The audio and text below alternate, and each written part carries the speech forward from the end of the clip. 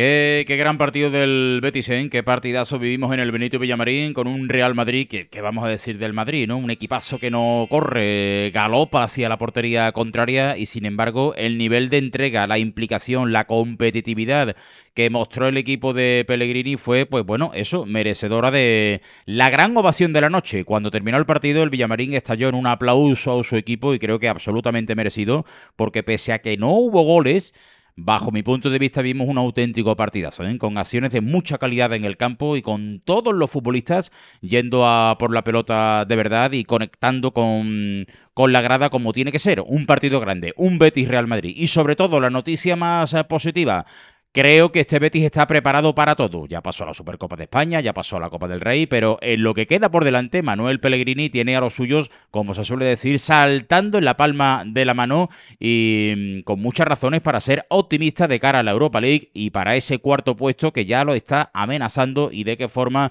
el Real Betis Balompié, porque la Real Sociedad está empezando a a perder muchos partidos, a no dar la imagen que ha dado durante toda la primera vuelta. Este podcast tiene que ser muy grande, tiene que estar muy bien hecho y para ello contamos pues como siempre con los mejores, con Paco Cepeda y con Lucas Auri y como no con el grupo Promar. Está buscando una vivienda, pues eh, no pierda más el tiempo y llame a este número de teléfono que ahora mismo va a aparecer aquí en sus pantallas 954-221-058 o ponga un correo a info Los nombres propios, hay muchos con la casa de el TPV, conozca qué es el robot camarero y ojo, después daremos más detalles, la nueva ley antifraude. Llame a este número de teléfono 955-545-811 y que lean ser. Ya este producto no solo voy a enseñar más porque creo que lo conocen en todo el mundo. Es el gel de manos con olor a incienso de Sevilla. Cleanser, soluciones de higiene y limpieza total, fabricantes de detergentes industriales y desengrasantes,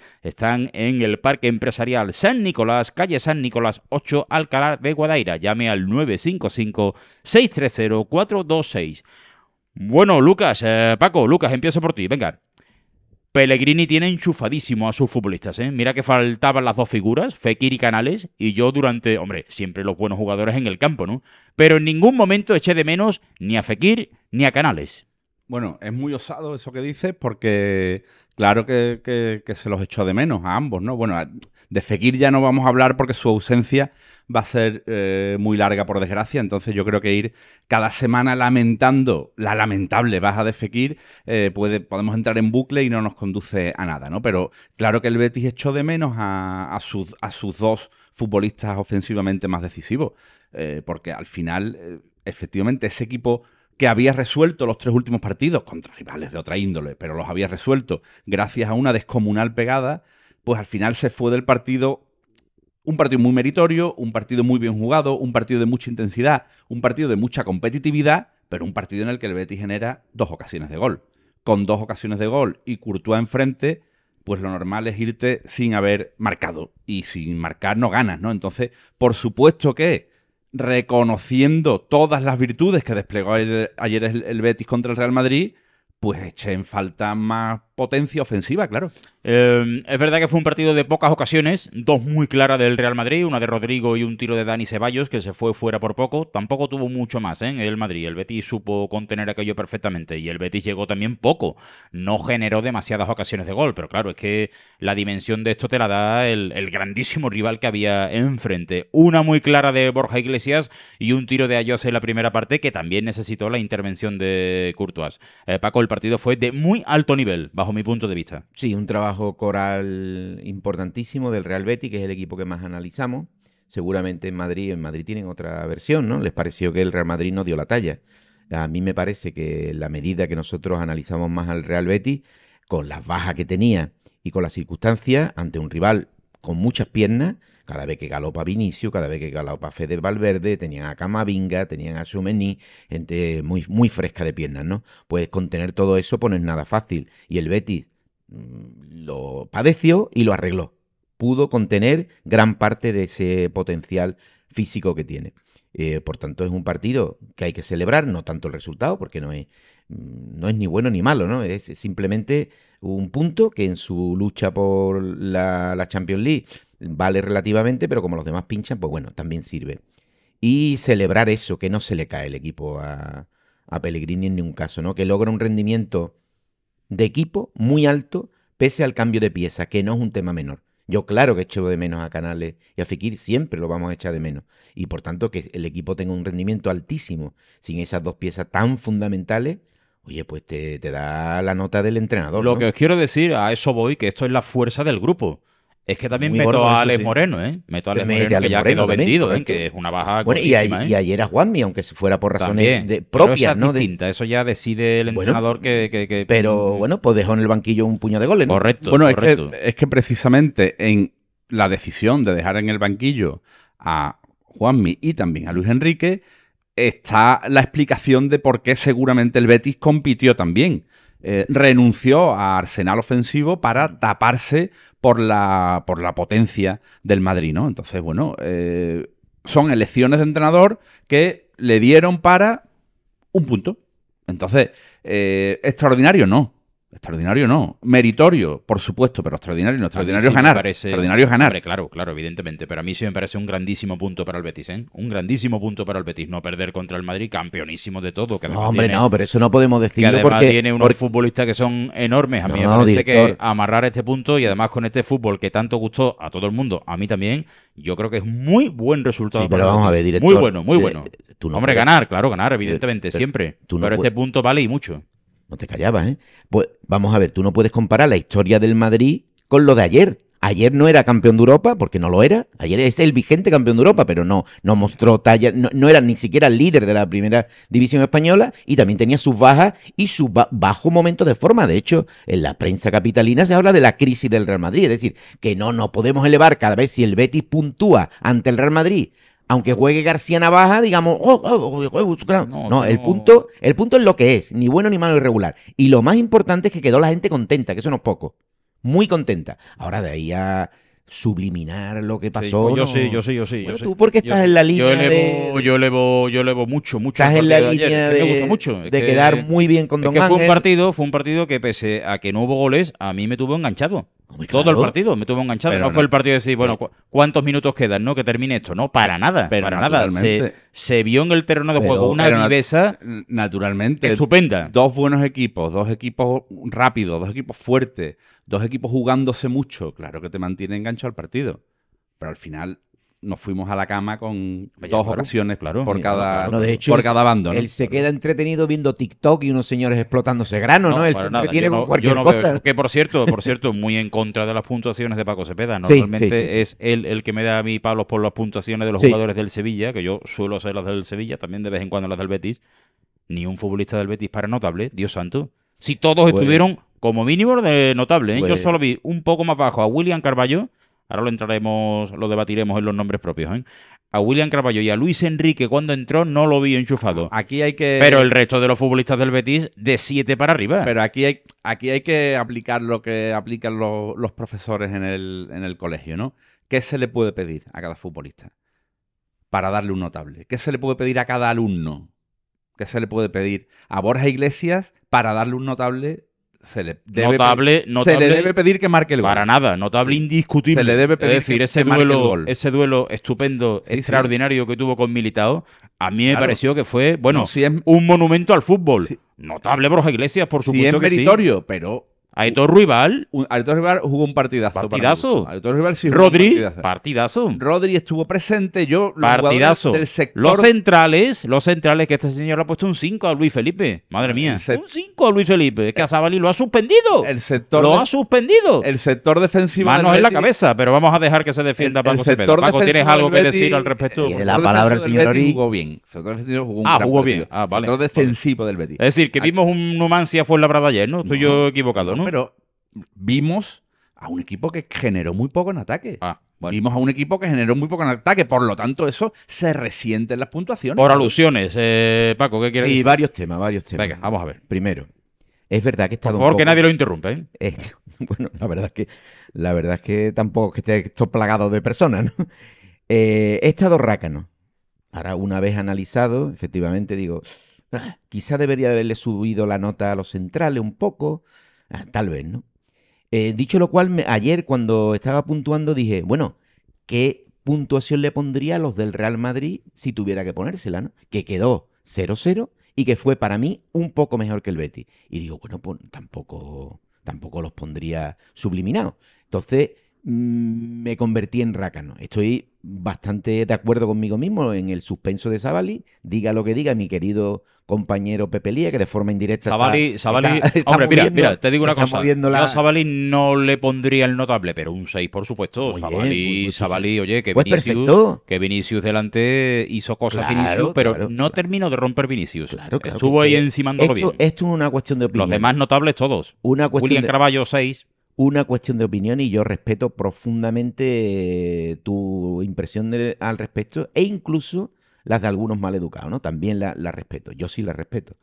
Pero insisto en que a mí me pareció un buen partido, un buen partido coral, seguramente si puntuara Pellegrini le hubiera puesto el notable, incluso el sobresaliente que tú pides, y no sé por qué no incluimos a los entrenadores, eso es culpa mía también, podríamos incluir. Pues yo sí. creo que de aquí podría salir que incluyamos los entrenadores Lo a partir de ahora. En un momento dado se hacía. Lo sé, hacíamos. Lo dejamos de hacer. pero nada, me, me puse malo, director tomó toda la... Calle de en medio, calle de en y medio. Se quitó de en medio. Además que no cuesta trabajo. Se pone Manuel Pellegrini, Pellegrini. dos puntos. Entonces, desde 10. aquí, aquí ahora nos comprometemos a poner... públicamente. Públicamente, Bueno, pues yo a don Manuel Pellegrini, que por cierto, una alineación complicada y que una vez más dio un portal anaranjado en rigurosa premisa, seguramente Pepe Lía se enteró por, por el portal, seguramente, ¿no? Pero ¿por qué estamos hoy con Pepe Lías? ¿Qué le pasa? Bueno, porque es gran amigo, gran, Lías? amigo, pero es Pero no hablemos, no hablemos de los que no están aquí. gran amigo, gran abrazo, amigo, Pepe, pero no gran, gran aquí. compañero, Y no tienen oportunidad pero de seguramente esté buscando algún, muchos más miles de No seguidores a creo, no de creo. cualquier cosa. No creo, no creo. no sí, creo. sí, sí, está en esa línea y está intentando demostrar que La Savali alineación de fue Pellegrini. Garrincha o mezclado con, con yo qué sé, un, con un lateral derecho de categoría. Cafú. Con Cafú, ¿no? ¿Qué querías decir de la alineación de Pellegrini? Arriesgada. Dejó sin jugar a Juanmi, eso es Sí. arriesgado, ¿no? Sí. Luis Enrique, que es verdad que venía abajo, pero que tenía unas características que podemos decir, bueno, si le va a faltar Canales y Fekir, uno invita a pensar que Luis Enrique puede ser uno de los futbolistas que dé cosas de las que dan los otros. Y no lo hizo y convirtió un, un equipo, un once pobre, seguramente sobre el papel, en un equipo rocoso que le funcionó a las mil maravillas. Por tanto, una decisión de entrenador capital, porque consiguió lo que quería con nombres que seguramente muchos lo discutieron. De hecho, como dimos la alineación a las 3 de la tarde, hubo muchos comentarios, incluidos en las redes, y bueno, nadie se atreve a criticar a don Pellegrini porque es lo que es, pero hoy era inquietante la Le salió alineación. ¿no? estupendo, le salió estupendo Le porque, salió porque yo creo, Lucas, que ahogó bastante al Madrid en los metros finales. ¿eh? Claro, de ahí mi juicio al principio. Le salió estupendo para un partido de pocas ocasiones que se empata a cero. Para Claro. eso le salió estupendo. Eh, yo eché de menos más mm, voluntad de ganar el partido. El Betis fue al, al porcentaje, fue a, a lo que jugaban los equipos italianos en los 90. Oye, vamos a ser un poquito más eficaces. Vamos a tener dos y marcar una y que ellos tengan dos y no marquen ninguna. Estuvo a punto de salir, perfecto. Por eso habría sido yo rácano también con la, con la nota de Borja Iglesias, de habérsela puesto. Él tuvo la ocasión que debería haber convertido en superlativo el partido del Betis, del 0 a 0 al 1 a 1. Hay un centímetro que el balón vaya para allá o para acá, pero hay un mundo, hay un mundo, en ese centímetro va el mundo y en ese centímetro va la calificación que yo le hago al partido y la nota que yo le habría puesto a Borja Iglesias. Porque aquí estamos hablando al final de resultados. Y a, y a Pellegrini le salió excepcionalmente bien su plan de no encajar goles. Yo creo, un poco regular yo creo que plan no. hacerle daño al yo Madrid. creo, Lucas, que no solo hizo eso el Betis. ¿eh? El Betis, por supuesto, hay que defender porque es que ante esta máquina tienes que defender. Si no estás muerto, no es que estés muerto, es que te meten cinco, ¿no? Aunque este Madrid está con poco gol últimamente. Pero no le perdió nunca la cara al partido Por del Betis. ¿eh? Y no, no. perdió nunca de vista. No perdió nunca de vista la portería de Courtois, ¿eh? De hecho, en la segunda parte, el Madrid dominó, ¿eh? también tuvo fases de, de ser muy dominador, pero en la segunda parte yo percibía que podía llegar el zarpazo del Betis. pero, ¿eh? pero nadie. que el partido del Betis no fue me meto atrás y a lo que Pero salga. no, no. Para nada. No, no, para nada. Betis pero no de- Miguel Ángel, defiende así el Betis. Nadie discute eso. Nadie discute eso. Pero nadie discutirá tampoco que dos ocasiones son pocas. Y eso fue lo que generó ayer el Betis. Sí. Dos yo creo, son yo, pocas. yo creo que, que director, en realidad, nosotros estamos vetados, pero él sí entra en el campo del Betis. Y se contagió de algo que también es muy importante en fútbol. Y que yo lo aplaudo desde aquí. El público del Betis estaba encantado. Por tanto, bien. Paso número uno, contentó a su gente, por tanto, muy bien. Pero Paco, no estaba Muy bien. encantado, no estaba Ahora- encantado porque todos dijeron, venga, pues claro, aquí- aquí no, porque, porque era un equipo viendo era encomiable. bueno. Era un equipo encomiable. Muy bueno. Lo que estaban viendo era muy bueno. Un equipo encomiable. Perfecto. Excepto de que no le falta razón a, a dire- a profesor Luca y, y ex director que faltó algo en ataque, ¿no? ¿O no? ¿Qué decimos? ¿Que, que sí hubo un ataque? No, no, no. No, creo. pues nada, lo decimos. No creo, no creo que le Queridos oyentes de los... ¿Dónde está mi cámara? Queridos oyentes de los videopodcasts de mucho deporte. Hubo un sinfín de ocasiones del Real Betis. No la vi, me, me pilló de espalda, pero hubo un ¿Y el. Madrid cuántas generó? Las mismas. Pocas, queridos oyentes. Pues ya está. muy pocas. Pues ya está. Venga, Eso- nombres por eso propios. es la mitad de una cosa y la mitad de otra. la casa del TPV en Camas, conoce nuestro robot camarero e infórmate, ojo a esto, ¿eh? de la nueva ley antifraude Eso es que obliga a todos los comercios a informatizarse a partir del día 1 de enero. ¿eh? Si estás pensando en adquirir un software nue- nuevo, debes estar homologado para evitar sanciones. ¿eh? Cuidado con esto, que luego llega el papelito y empezamos a asustarnos. En la casa del TPV te van a ayudar en todo el proceso con un ahorro de hasta el 70% en la compra de tu TPV, cajón portamonedas, impresora o papel térmico. Infórmate en www.lacasadeltpv.com o llamando al 955-545-811. Y recuerda, sin intermediarios, desde la fábrica a tu comercio, si pagas más es porque quieres. Y eso nunca queremos, No. ¿eh? Hay que Pero ¿qué es lo que hay que informarse hacer si yo tengo un y comercio? tener, eh, y tener eh, las cosas en condiciones. Pues eso, entras en la casa del tpv.com Vale. y allí te informan perfectamente. Es justo lo que estoy diciendo. Y, y- y rezar para eludir la. Eso también, para rezar eludir siempre. la, El activi- multón, la ¿no? actividad terrorista de la agencia tributaria. Em, Un saludo a la agencia tributaria desde aquí. Oye, eh, qué gran partido de Aitor Ruibal, ¿eh? Para mí fue el mejor del el Betis. mejor. Sí, bueno, para mí el mejor. El Me- mejor del me, Betis, ¿eh? me he lanzado, pero yo creo que sí. Que ¿Puedes, Le puedes perdonaron- leer, puedes leer lo que puse de Rubal, partido querido director? Le perdonaron la, la roja en un contragolpe. No, no, no. no. Iba para arriba y Pero le eso no es mete- roja, hombre. Le mete un zambombazo a Camavinga. No, que cuidado, ¿eh? no, cuidado, ¿eh? no. Con esa mano que si no es un puñetazo casi. Nada, nada. Se la jugó, ¿eh? No le sacó la amarilla. No. no. Quizá amarilla sí, es una jugada para amarilla, porque más que. No, no la vio, Luca, Iba- por eso no la vio. Sí, sí, la vio, sí la vio y lo pitó. Iban los no, dos. no lo pitó, no lo pitó. Dejó, sigan, sigan. No, en el, en el contragolpe de- ¿Ese? justo al No, final pero- de la primera pero- parte. Pero frena el contragolpe. Justo al No, final de la si primera parte. estoy viendo yo otra La jugada. jugada que hay justo al final de la primera parte que contragolpea al esa, esa. Camavinga se va a cruzar y él lo es, la falta, pitó la falta y el final de la primera Sí, parte. sí, correcto, correcto. Y yo creo que sí debería haber amonestado a, a Víctor Rival por falta alevosa. Fue una falta, oye, te voy a hacer la falta para que no inter- intervengas en la jugada, pero tanto como una agresión, no. Yo creo que el árbitro sí le perdonó la amarilla, tanto como una agresión, desde No, luego. un gran partido Yo de. tampoco. ¿Y Aitor puedes leer lo que puse de Aitor Un Ruibal? 6 a tu rival. Sí, Yo pero puedes leer. Oye, perdona. A Yo ver, creo si, que a ver si el director de este prestigioso programa y este no menos prestigioso portal no va a invitar a la gente a que lea. A ver si vas a ser tú el mismo que ve un solo un titular y no pone dos puntos. Aitor Rival. ¿Puedes, por, de- por favor? Procede, querido director. Es un pulmón con piernas. Habrá días que juegue mejor que ante el Real Madrid. Ah, mejor. Va, vale, siga, pues- siga. pues no, entonces- no valore. Entonces, no valore. No entonces valore. será, será Dembélé. No valore. Aitor rival Dembélé. No valore. Pero siempre es mi ejército. Es un optimista y trabajador contagioso y eso suma casi siempre. Y esto es un poquito, un poquito, eh, ha jugado bien, pero Sí, un es- 6. es Nefasto, el- hombre. Es el, es- es el alabo al alumno poco brillante. Esto Ahí, es esto, esto es un poco envenenado, querido. No, no, no. Qué barbaridad, qué Siempre barbaridad. pone siempre en mi ejército. Y atento, señores. Miranda un 5. Miranda un 5. Esto es de manos en la cabeza, ¿eh? Miranda hizo un gran partido. Miranda Lucas. jugó un buen partido, de más a menos, tengo que decir, de más a menos, pero jugó un muy buen partido, Miranda. Muy buen partido. No llega, y me temo que no llegará nunca a las prestaciones de Alex Moreno, porque le Pues sí. falta el arma, el factor X de Alex Moreno, que es la velocidad supersónica, pero muy buen partido de Miranda.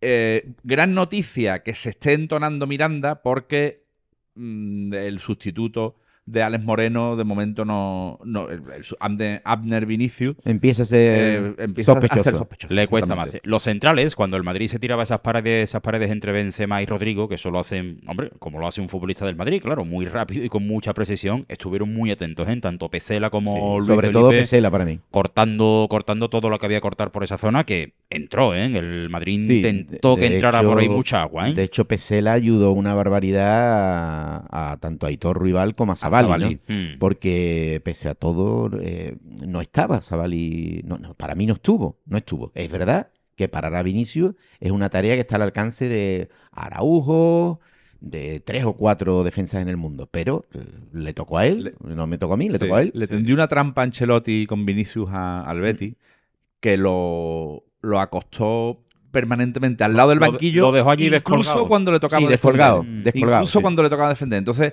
eso a Sabalí le generó muchos problemas y requirió muchas intervenciones de Pesela Sí. a campo abierto, que es lo Que siempre es un para problema. un Es que como Ancelotti- Pesela frente a Vinicius es un problema. Ancelotti explicó perfectamente el partido. Queríamos un partido de ida y vuelta, porque ahí el Madrid, el Madrid te mata de todas las maneras, ¿no? Pero especialmente cuando corren esos tíos, esos bichos que Son te, te- bicharracos. te- te machacan, ¿no? Es impresionante, no corre, galopan, ¿eh? Hay Galopan, que ver, ¿eh? hay que ver Hacia lo portería, rápido ¿eh? que se persona Fede Valverde de área a área. ¿eh? Valverde, Chuameni, Camavinga, Benzema muy bajo, ¿eh? Muy bajito, verdad. Para lo que es él. Pero claro, controla la mí lo quisiera yo, ¿no? Pero para lo que es Benzema, claro, de hecho, el Real Madrid está en su problema actual, porque está en un problema actual para su dimensión, eh, porque no tiene los goles de Benzema, que juega como Los Ángeles. A mí, no, la verdad es que cada vez que lo veo, me parece que todos los movimientos son muy correctos, Un- pero un gol en tres partidos, aquí no estamos Claro. para hablar del Madrid, pero un gol Claro. en tres partidos que le ha puesto casi imposible la liga y casi imposible la copa. O sea, el Madrid en esta semana ha... Paso atrás, claro, Ha sí, perdido sin mucho. duda. Y repito, precioso, ¿eh? Lo que vivimos entre Borja Iglesias y Mm. Militao, un duelo de los de verdad, de ir a por todas, pero es verdad, es verdad que tú sí puedes ir a los partidos porque Don Ángel te, te No, mete no, por la- no, no, una puerta de atrás. Me tiene, me tiene, nos tiene vetado el Real Betis A nosotros sí, pero yo ya dudo que tú estés vetado. ¿eh? Desde hace ya un tiempo que ni me acuerdo. Lo que pasa es que cuando yo escucho argumentos que no se sostienen, pues tengo que salir aquí. Me voy a erigir un poco en defensa del bético. ¿eh? Sí, sí, Al sí, final sí, voy a ser en defensa del aficionado bético porque hay que contener lo que yo tengo a mi derecha y a mi Te va a izquierda. costar ¿eh? trabajo superar a mi querido Pepe Lía, ¿eh? Eh, William Carballo bajito. A mí me parece que no entró nunca del todo en el encuentro, ¿no? Quizás No. por este ritmo veloz del partido. Y además se ganó estúpidamente la quinta tarjeta eh, para un partido capital del Betis en Villarreal la semana que viene. eh, partido que, que Canales pues va a llegar como llegue, si es que llega, que parece que sí, y, y que se va a ver privado el Betis Mm. de su otro gran argumento en la creación por una tontería, porque protestó una jugada clarísima que ya hemos dicho que se saldó favorablemente para el Betis porque una amarilla debería haber visto rival, se fue a protestarle ahí al árbitro una vez y otra vez y otra vez hasta que le sacó la amarilla. Protestó como protesta Vinicio y a Vinicio le cuesta más trabajo sacarle la tarjeta, ¿no? Pues bueno, sí. y desde aquí re- recordar también una acción que ha sido muy comentada porque ha habido errores. eh, el primero por, por mi parte, por ejemplo, que es que le, hemos- lo hemos concedi- le concedimos en su momento una tarjeta a Luis Enrique que no es tal. No está en el acta entre la realización televisiva, rótulo lo de que la cre- tele engañó. el rótulo, lo que creímos, porque bueno, eh, las cosas se ven como se ven y vamos a la velocidad que vamos, ¿no? Pues efectivamente no hay tarjeta y por tanto podrá jugar en Villarreal. Un saludo a todas las personas perfectas que jamás se equivocaron en un Qué directo tontería. ¿no? y que jamás escribieron Los nada mismos- que mismos- pueda ser censurado a lo largo de su vida. Un saludo muy, muy fuerte. eh, comentaristas del partido confundieron a Savali con Luis Enrique y pensaban que Savali eh, había sido merecedor de segunda tarjeta cuando eh, la falta la había hecho Luis Enrique. Se equivocaron y estuvieron unos minutos ahí. Uy, Savali se la ha jugado. eso es se la una, ha jugado. eh, eso es una componente en contra Los que hemos eh, retransmitido algún partido sabemos que eso te pasa. Es que eso te pasa y cuando te pasa, pues nada, sale del error y tan tranquilo. No, no, no, no ocurre nada, ¿no? No conozco yo la perfección en ninguna profesión. Dos, dos jugadores de raza negra, cabeza rapada, jugando en la misma banda Claro. a, a 45 metros como mínimo, que son más los que estás, porque estás en la cabina. Nada, Caramba. nada, pero... Y el último nombre propio, atención, este es importante. Dani Ceballos, buena pitada del Villamarín, ¿eh? Nada contundente, ¿no? Eso no y sé- además no se lo explica, no se lo explica mucha gente. Y sobre todo los profesionales del fútbol. Yo escuché a muchos diciendo, bueno, pero ¿qué no entienden de que se vaya un equipo donde le pagan más y tiene más posibilidades de triunfar? Para nada, nadie. En realidad te da más o menos coraje que lo haga, pero todo el mundo lo entiende. Ahora, lo que se ve, se percibe de Dani Ceballos es que tiene al Betty ahí en la recamarita de tercera opción para pegar el mangazo final. Que cuando tiene, por ejemplo, la oportunidad en sus manos de decidir su libertad, en sus manos, y decir, voy, soy eh, cola de ratón, o ahora mismo no me estoy poniendo bien en pie como en la película. Cola de león o cabeza de ratón. O cabeza de ratón, que es una decisión deportiva que tiene que tener, ¿no? La de doy el paso. He, he visto que en el Arsenal no. He visto que en el Real Madrid no. ¿Hay jugado en otro equipo? ¿Cedido? ¿No? Bueno, pues eh, hemos visto que en la máxima élite no le ha dado para ser Por ahora. por ahora, por ahora, para ser punterísimo. Tengo una decisión deportiva que es ir a un gran equipo como el Real Betis Balompié, que juega bien, que me puede venir bien y no pegar el sartenazo que puedo pegar en otro sitio. Bueno, pues parece que en sus declaraciones, en sus redes sociales, ama al Betis, estoy deseando ir, estoy deseando ir. Pues aquí está el momento. Y ahora que está cercano ese momento, no se manifiesta Hombre, tan Paco, pero exhaustivamente. Cuando el Madrid va a hablar contigo para renovarte. Pues perfecto. Claro, bueno, pero no querrá que te aplaudan en el campo Betis eso, ¿no? No no querrá, ¿no? No querrá Bueno, que le digan, Dani Ceballos, renueve bien. No, no. Le dirán, oiga, es usted una hojaneta, ¿no? Yo en realidad lo entiendo todo. Yo Lo entiendo todo. Entiendo perfectamente a Dani Ceballos, lo entiendo perfectamente, porque cuando el Real Madrid te dice, Ven, lo Don todo. Daniel, usted va a renovar, porque el Madrid es que lo ha llamado para renovar. ¿Eso es verdad? Hace cuatro meses no, ahora sí. El Madrid quiere ¿Y eso que es verdad? Claro que es verdad. Si no lo estaría diciendo, ¿no? Claro, el Madrid lo ha llamado para renovar. Entonces, cuando el Madrid llegado, le ¿no? dice, venga usted a renovar, pues su prioridad, evidentemente, es el Real Madrid. Mm, Si no renueva por el Madrid, pues ya ahí tendrá, ahí tendrá que calibrar si eh, quiere 10, me lo estoy inventando la cifra, ¿eh? 10 en algún sitio o 3 en el Betis. Claro. Porque es que ahora mismo el Betis todavía no está su- el caché de Dani Ceballos a su alcance. Correcto. Por lo tanto, para venir al Betis, Dani Ceballos tendría que rebajar muy considerablemente su caché actual. Incluso el caché actual fuera del Real Madrid. Incluso el que ganaría fuera del Real Madrid. Por tanto, claro que se lo está pensando y claro que ahora mismo es más no que sí. Claro que eso al hincha, Bueno, pues bueno, en un momento dado le A- molesta. A, a nivel, a nivel Bueno. económico, oh, Ceballos está en el nivel de Fekir, ¿eh? Pues, eso es. y, y el Betis se puede permitir pa- Dos pagarle a otro futbolista. No. Venga, último tema. El Manchester United casi empata este fin de semana, ¿eh? Siete goles le ha metido el Qué Liverpool. barbaridad, ¿no? Santo Dios, qué Era- resultado, ¿eh? ¿Esto es bueno o malo para el Betis? Ni idea. El Manchester United Bueno. era desde el Mundial el mejor equipo de Europa. El mejor equipo de Europa desde el Mundial. Y de pronto se encuentra con un 7-0 absolutamente humillante. Yo no he visto ni una imagen del partido. No sé si iba vestido de blanco, de verde o de rojo. El Manchester, o sea, que no... ¿No has visto porque- el denominado highlight, no? no, no, ni siquiera. No, porque ahora aquí ahora tiran todos que no, es que Juan Bisaca no cerró bien las diagonales y, y- y el partido fue a la misma hora, ¿no? Entonces eso no lo pudo ver Yo no nadie. sé si Juan Bisaca, pero la- no cerraron bien las diagonales. ¿eh? Eso es un hecho, ¿eh? la historia de siempre, ¿no? Pero lo que sí sé es que viendo los resultados, el mejor equipo de Europa desde el Mundial, el equipo que estaba galopando para alcanzar al City y al Arsenal en la lucha por la Premier, de pronto un Liverpool en absoluta crisis le mete 7. Esto es sorprendente. ¿Es bueno o es malo para el Betis? Pues no tengo ni idea, Miguel Ángel. Ni idea. Bueno, Debe ser bueno. cerramos. eh, Paco, venga, Manchester United. Tiene De- que ir el Betis a por la Europa League, ¿no? Como, pues hasta que, ya lo hemos dicho, emite, ponle un pitido a la palabra hasta que 11 mm, te echen de la competición a muerte. ¿Que es favorito el Manchester United? Pues sí, pese a su 7-0. Pues sí, claro. ¿Pero qué? ¿Que el Betis no va a competir? ¿No, no, no va a competir contra Yo el creo que sí. Yo, tal y como ¿Qué veo creía? Betis, tal y como Ah. veo ¿Qué diría Don a- Ángel, según tú? Tal y como veo a Manuel Pellegrini que el hombre le preguntan por la baja y dice, son problemas, pero adelante, adelante siempre. No, Yo creo que... Es más importante el partido de, de dentro de seis semanas en que el campo distinto. del Nasti de Tarragona. Sí, que ya, Sí. ya os estáis equivocando y, y sabía que ibais a meter este tema, pero es que Pero no tiene queda nada claro que ver. lo Cuando, del- un equipo, cuando un equipo está como está el Betis, por supuesto, a por todas, y especialmente en las eliminatorias, es lo que da la gloria. Cuando está como está el Sevilla, que ya estamos metiendo este tema aquí, pues evidentemente levántate de la cama y a ver si puedes dar un pasito para quedarte en la categoría. Fuera todo, fuera todo lo demás, sobra todo. Simplemente hay que respirar, que no es poco, que es todo. Y esta fue la historia de este Betis Real Madrid. Magnífico. Un encuentro estupendo que deja al Betis muy vivo en todo y con muchísimo optimismo.